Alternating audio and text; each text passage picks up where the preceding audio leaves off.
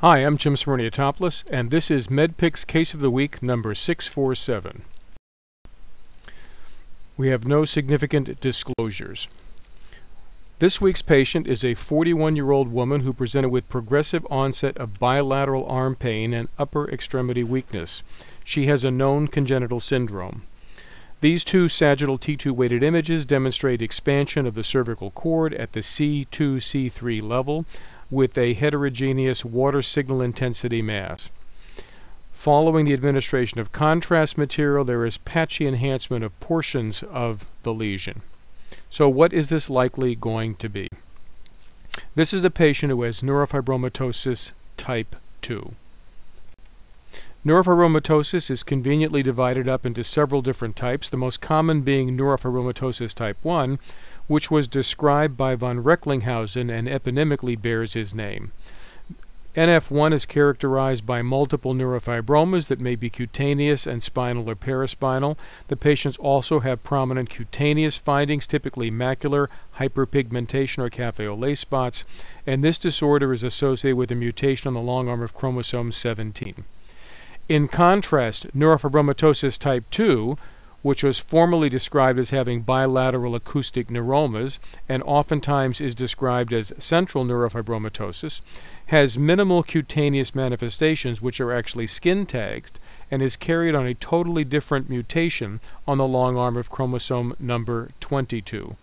There are 22 letters and numbers in the words neurofibromatosis type 2, and most patients have bilateral vestibular schwannomas, so all of the 2's go together with NF2. In considering neurofibromatosis type 1 and neurofibromatosis type 2 and their genetics, we must remember that when we study Mendelian inheritance, we match up groups of patients by their families, and families are grouped by their surnames. Neurofibromatosis type 1 and neurofibromatosis type 2 have the same first name, neurofibromatosis, and the same middle name, type, but they have different last names, 1 and 2, because they come from different families with different mutations. CNS neoplasms associated with neurofibromatosis type 2 are categorized by a loss of heterozygosity, the schwannoma, the meningioma, and the ependymoma. So it's natural to relate the systemic deletion of chromosome 22 with the formation of these three neoplasms. In contrast, patients who have NF1, who have a mutation in chromosome number 17, primarily develop neurofibromas, the diffuse type of astrocytoma in the cerebral hemispheres and cerebellum, and they also develop pilocytic astrocytomas of the optic nerve, the optic nerve glioma. Neurofibromatosis type 2 has been called Wishart's disease. He was the first to describe this disorder in 1822. It's also called the Misme syndrome, and we'll explain that abbreviation shortly. The prevalence of NF2 is much less common than NF1 at approximately 1 in 50,000. And chromosome 22 is described as coding for a a gene that relates to a protein called neurofibromin, but that protein is also called schwannomin or Merlin. Again, the incidence of NF2 is much less common than NF1. The primary symptoms at presentation in patients not known to have the disorder by family history is high frequency hearing loss from the vestibular schwannomas. The CNS findings in these patients are multiple because they have an inherited gene mutation, deletion, and the neoplasms are schwannoma, meningioma, and ependymoma, which is typically intramedullary within the spinal cord. That's why NF2 is oftentimes called the Misme syndrome. The NIH diagnostic criteria include either the presence of bilateral eighth nerve masses or a first degree relative with the same disorder, and either unilateral eighth nerve mass or a first degree relative in any two from the short list that includes meningioma, glioma, again usually an ependymoma, schwannoma, congenital lens opacity, or neurofibromas. At least that's what was in the NIH diagnostic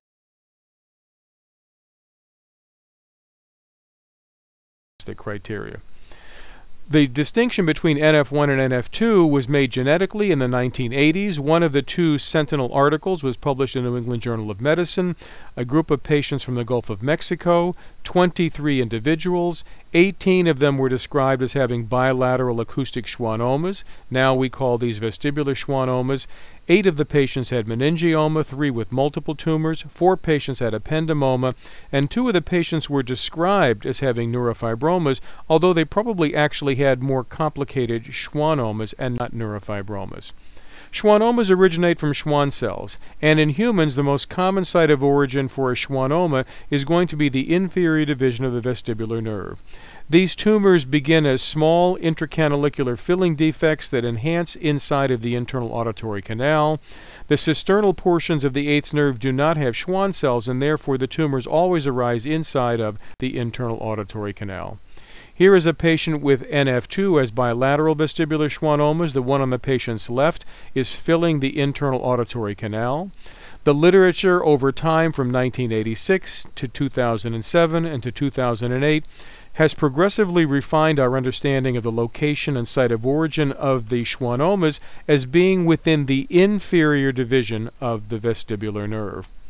We want to remember that these patients have a genetic predisposition, so they may form multiple schwannomas, in this case, bilateral vestibular schwannomas. Although the center of the bulk of the mass is in the cerebellopontine angle cistern, we wish to remember that the tumors always begin inside of the internal auditory canal because that's where the Schwann cells live. And this tumor also has the classic shape of an ice cream cone with three scoops in the cistern, but ice cream packed in the cone, which is the enlargement, the funnel shaped enlargement of the internal auditory canal.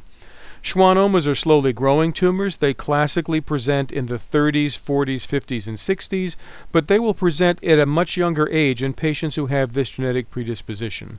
They classically arise from sensory rather than motor nerve roots. The overwhelming majority of solitary schwannomas are sporadic tumors, but any patient with multiple schwannomas probably has the chromosome 22 mutation that gives us the disorder called neurofibromatosis type 2. Here is another patient with bilateral vestibular schwannomas, an older case. The tumors achieved a quite dramatic size before the patient had their first imaging study to make the diagnosis.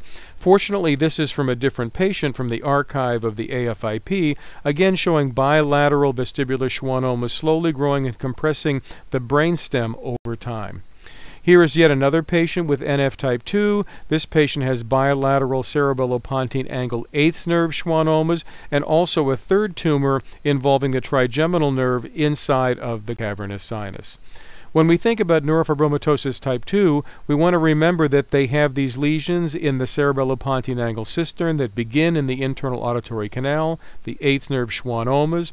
They may also have lesions that are not touching or arising from a nerve, such as this tentorial lesion and the lesion wrapped around the falx. Both of these are going to be meningiomas. In the axial plane, we see bilateral eighth nerve tumors and a tentorial rounded mass, which is the meningioma. And that's part of the reason why we call this the Misme disease. The third component of the neoplastic processes in NF2 is an intramedullary lesion, most commonly seen in the cervical spinal cord, and this is going to be an ependymoma. So neurofibromatosis type 2 causes multiple lesions because of an inherited gene mutation, and the histology of those lesions is schwannoma, meningioma, and ependymoma, and that is also the relative frequency with which patients will harbor. So that is why we call neurofibromatosis type 2 the Misme syndrome. These patients have a genetic predisposition for making multiple lesions. They have inherited a mutation, an autosomal dominant mutation on the long arm of chromosome 22. The histology of these lesions is schwannoma, meningioma, and ependymoma. So we call it the Misme syndrome to help us remember the lesions that occur, and that is also the relative frequency of these lesions. More schwannomas, some meningiomas, and least common are going to be symptomatic intramedullary spinal cord mutations. This has been a MedPix Case of the Week. We thank you for your time and attention. I'm Jim Smirniotopoulos, and I have approved this message.